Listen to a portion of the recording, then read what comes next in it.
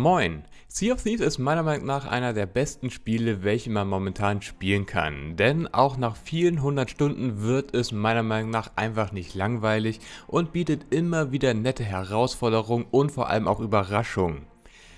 Dass es so lange so gut ist, liegt natürlich an den zahlreichen Updates, welche seit dem Release gab. Es gibt bis jetzt ganze 32 Updates, welche mehr oder weniger groß waren. Darunter zum Beispiel Mega-Updates wie The Hungering Deep, das Jubiläums-Update, Shrouded Spoils und nicht zuletzt das Disney-Update A Pirate's Life. Aber wo Licht ist, da ist natürlich auch Schatten. Und so soll es heute mal um die 5 schlechtesten Updates in Sea of Thieves gehen und warum sie meiner Meinung nach einfach ein absoluter Reinfall waren. Los geht es mit Patch 1.4.3 oder besser bekannt unter dem Update Mercenary Voyage of the Rum Runner. Was als spaßige neue Mission angekündigt wurde, war am Ende einfach nur mehr vom Alten. Alle Missionen innerhalb dieser Mission gab es bereits und so wurde sehr kreativ entschieden, wie wäre es, wenn wir einfach jeden Missionstypen einfach in eine Mission packen, genau wie bei den Legendenmissionen, einfach dann nur noch kürzer. Scheinbar kam diese Idee so gut an, dass man dachte, das sei ein komplettes Update wert. Denn mehr bot der Patch am Ende nicht. Dennoch ist dieses Update nur auf Platz 5 und es ist noch sehr viel Platz nach unten für den freien Fall. Zweitens Patch 2.0.5 oder besser bekannt unter dem Namen Black Powder Stashes. Wie wäre es einfach rumzufahren, Schießpulverfässer auszubuddeln und, und, ja, das war's. Denn genau diesen Inhalt bot das Update Black Powder Stashes. Einfach sein Schiff mit ein paar explosiven Ladungen bestücken und gut ist.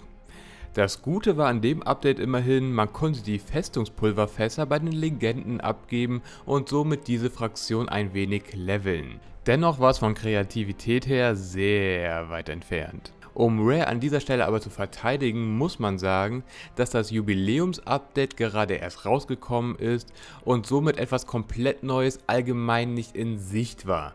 Dennoch kann es durchaus ein wenig spannender sein als ein Event, welches man irgendwie einmal ganz kurz spielt und dann alles gesehen hat und ich habe dieses Update, soweit ich weiß, kein einziges Mal gespielt, weil ich da keine Lust drauf hatte. Jeder, der sich noch an den Start der Season 1 in SOT erinnern kann, der weiß, dieses Update bot neben dem Plunderpass nicht wirklich viele Neuerungen, obwohl doch es gab die neuen Frachtfahrten des Handelsbund, bei denen man versunkene Schiffe finden musste. Und meiner Meinung nach sind das immer noch die besten Handelsfahrten, die es momentan im Spiel gibt. Dann kam aber Season 2 und wo es bereits schon viele Spekulationen gab, was alles kommen könnte, so kam nix. Okay, das stimmt nicht. Schließlich gab es einen neuen Plunderpass mit Items, die alle wirklich überhaupt nicht schön waren. Und es kam noch ein komplett neues Vorrein. Das komplett setzen wir mal in Anführungszeichen und das neue logischerweise dann auch. Denn neu ist da sehr großzügig beschrieben, denn am Ende war es wirklich nur ein ganz normales Vor, welches a. länger dauerte als normale und b. einfach nur nerviger war und keine echte Herausforderung bot. Denn Rare, lasst euch das mal gesagt sein, ein Vor wird nicht dadurch spannender, dass es einfach viel, viel mehr Wellen hat oder dass man irgendwelche Gegenstände ausbuddeln kann und es einfach nur noch deutlich länger dauert. Dadurch wird es eigentlich nur noch nerviger, spannender wird es durch neue Mechaniken werden und dieses hat das Vor einfach nicht geboten. Jeder wird die Forts of Fortune kennen. Ich habe davon ein, zwei gemacht und danach dachte ich dann, also jo, reicht mir, mehr brauche ich davon eigentlich nicht. Da gehe ich lieber andere Spieler jagen. Auf Rang 2 wird es komplett traurig und das zu Weihnachten. Denn ebenfalls eine Enttäuschung war das Festival of Giving. Aber nicht das erste Festival of Giving von 2019. Denn dieses war durchaus ganz nett und bot ein paar nette kleine Änderungen. Nein, ich rede vom Festival of Giving von 2020, bei dem Rare wirklich 1 zu 1 dasselbe Event reingebracht hat. Keine Änderung, nix. Um dann aber doch in irgendeiner Form irgendetwas anders zu machen, gab es noch einen zweiten Teil vom Festival of Giving. Dann kam nämlich ein Event rein, das es so vorher noch nie gab. Richtig. Einfach erneut Black Powder Stashes, also erneut einfach Fässer ausbuddeln und das war es. Und das war das komplette Festival of Giving. Die größten Änderungen, die dieses Update mit sich gebracht hat, war nämlich für den Piratenbazar, also für den Echtgeld-Shop, wo man ein ganz cooles Weihnachtskostüm in Form eines Skelettes holen konnte. Und ja, da hat es dann auch schon aufgehört. Mehr gab es nicht. Das war das komplette Festival of Giving, unser Weihnachtsevent. Jetzt zum Schluss kommt das für mich enttäuschendste Update aller Zeiten. Eins, bei dem vor allem die Spekulationen im Vorfeld hochkochten. Es war die Rede davon, dass die Unterwasserwelt eine Veränderung erhalten wird und dass neue Gefahren die Sea of Thieves heimsuchen werden.